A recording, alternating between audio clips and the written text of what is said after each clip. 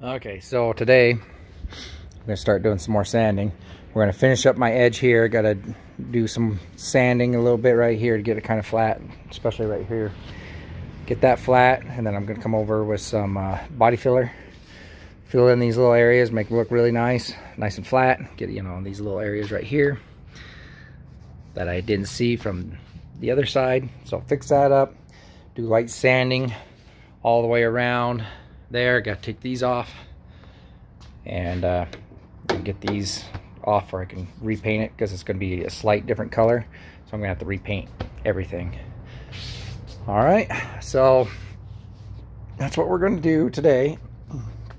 And hopefully I'll be able to get it in the black primer done today because this is pretty smooth already. You know, I just need to clean it up and do a, do a light sand. And I might just fill in these little fiberglass. You can see these little fiberglass areas. Um, I might fill that in and make it just look a little bit smoother. So, yeah, that's what we're to do. So first thing, I'm to take these off and then start sanding.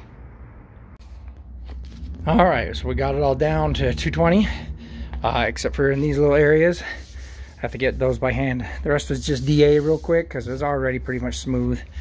So I just need to work on these corners and then we'll be done sanding there. And then we'll be able to get it uh, filler primer on there. And uh, I got a little hump right, oh right here. Not a hump, but a dip. So I have to fill that in and right there, a little bit right there. But other than that, rest. Feels really good except for just a little bit of sanding. So yeah so I'm, i decided I'm gonna try and make this smooth as possible a little bit more smoother since I got the DA and uh, see how well that turns out now. Probably turn out better. Uh, and I gotta go get down in here a little bit more. This is because when that fire happened it kind of you know messed with the fiberglass Oops, sorry, I lost you. Push the button. But I need to fill in a little bit right there. That's from that fiberglass filling up the paint a little bit there. So I got to fill in just a few more tiny little areas and then sand the rest down. Okay, so initial sanding down. I just got to, I, I put the Bondo down, or not the Bondo, this, uh, this glaze. I put the glaze right here and then up front. And then I'll finish sanding it down. Get it nice and smooth all the way around. Wet sand it one more time. Then after that, I'll put on the, uh, uh, the, the primer filler. So we're almost done with the back side of the hood.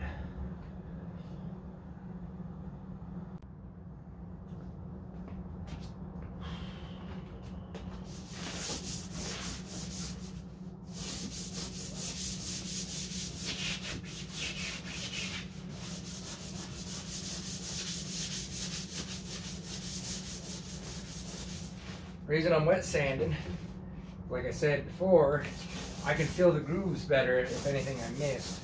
I know I can still work on that area. So, I mean, I'm, I'm not going for perfection here anyway, but if there's something that's just way out of whack, then I can work on it. So, that's the main reason.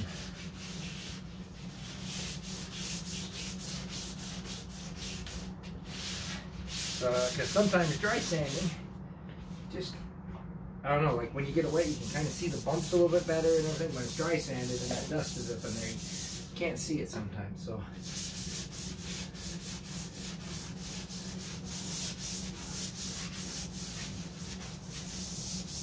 Feeling really good to begin with, but like I said, I just wanted it wet sanded just to make sure I'm getting everything.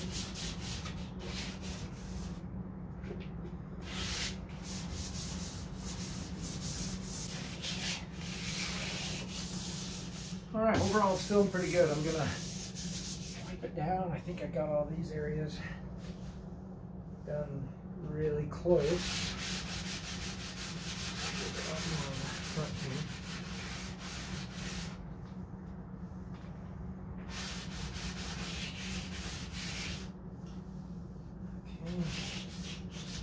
got it. Put it right there.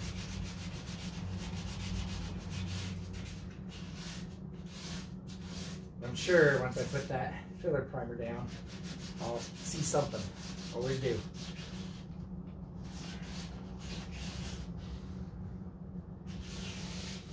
But like I said, the back of this hood is not going to matter as much because this is something you're not going to see very often. So.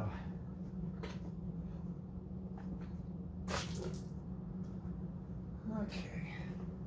Wash this up, wipe it down, and then we'll go over it with a fresh rag, towel, microfiber towel, mineral spirits, there's a wax and what is it called? Wax and tar remover.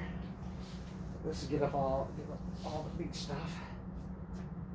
Yucky. Big stuff. Come back over it with the tar. Wax and tar remover. Kind of see the mess we made. It's nice and smooth though. Smoother anyway. There's down in here. There's just some places I'm, I'm not going to really care about. Uh, but yeah, that's one step closer. I'm going to wipe it down with the wax and tar remover. And we'll let dry and come back and we'll uh, uh, primer it up.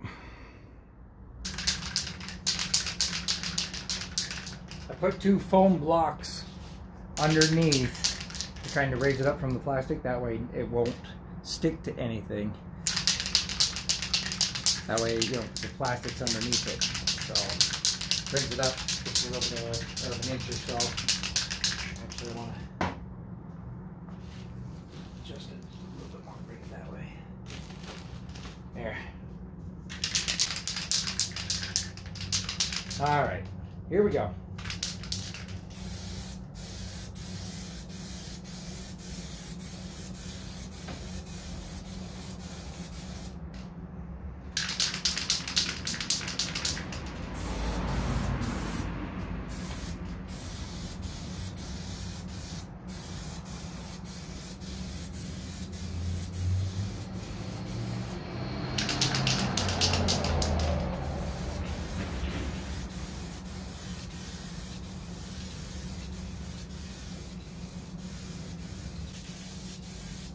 kind of putting a light coat on this one.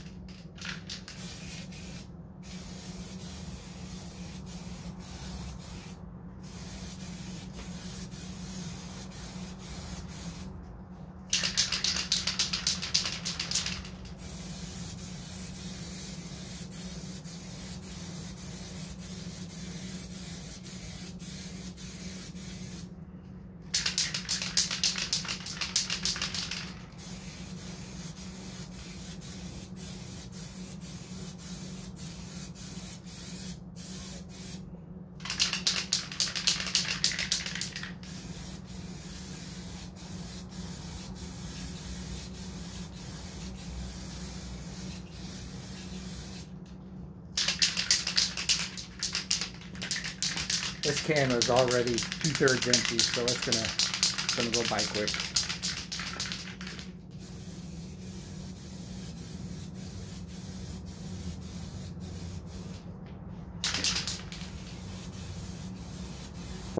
Okay, so that took about a can's worth. Um, like I said, you can still see some of the imperfections. This is why I do the, the filler primer, for I can always see what I missed. I need to fill in a little bit right there. And, you know, this, this area right here that I just can't see, a few scratches. But overall, I mean, this is the underside. I mean, I'm not to spend forever on this because it's just, it's wavy fiberglass. So it's to be what it is. It is what it is. But I will fill in these little areas, make it look nice. But the rest, I mean, unless I want to block for hours and hours and hours, you know, it's not worth it. It'd be worth buying another hood and doing it correctly, you know, doing it that way. But yeah, so uh, we'll let that sit, do its thing. Uh, it'll take about a day before you can start sanding or doing anything to it. So we're done for the day with this hood.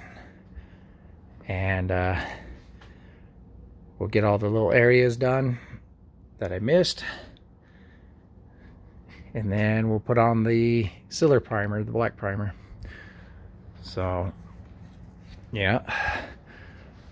And uh, before I go too far, I need to drill out these holes for my hood scoop a little bit bigger because I'm using those different uh, bolts. So I just need to go and just zip them out real quick. All right. It's gonna look really good. Most of it, like I said, most of it is done. I'll show you a picture of what I, what the hood looked like when I first got it. Whew, man, it was horrible looking. Um, you know, so it's come a long ways. Like I said, older, definitely an older fiberglass hood, whoever, whoever made it. So, yeah, we'll get her done.